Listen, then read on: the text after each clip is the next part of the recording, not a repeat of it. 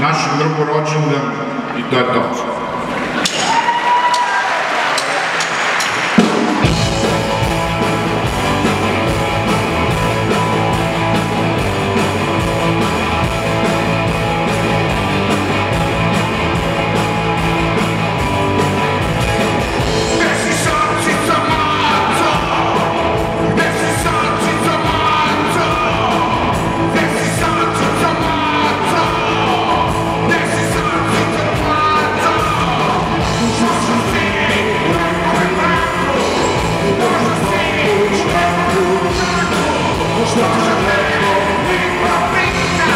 Można tyle kości